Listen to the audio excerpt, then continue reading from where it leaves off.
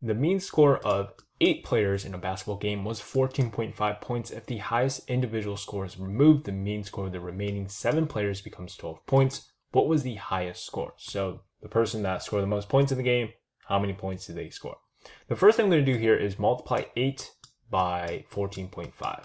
Now, why exactly am I doing this?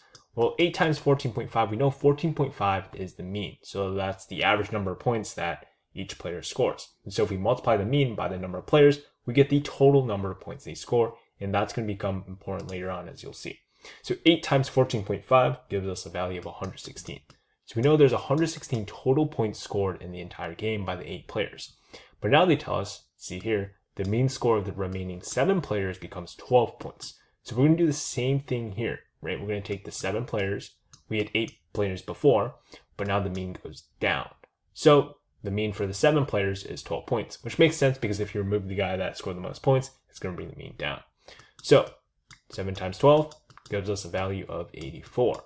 So now we have to, to solve the problem, we have to really understand these numbers in context. 84 represents the total number of points scored by the seven players, right? Because 12 points is the mean of the seven players. So 7 times 12 is 84. That's the total number of points that they scored. Now, where's this value of 116 again? Well, number 116 is the when we multiply the eight players, so that is including the highest score by the total mean of all eight players, which was 14.5, to get the total number of points they scored.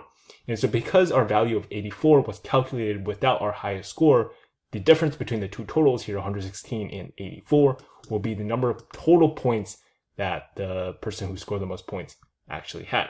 So 116 minus 84 will give us a value of 32 points, and therefore in our case, C is the correct answer.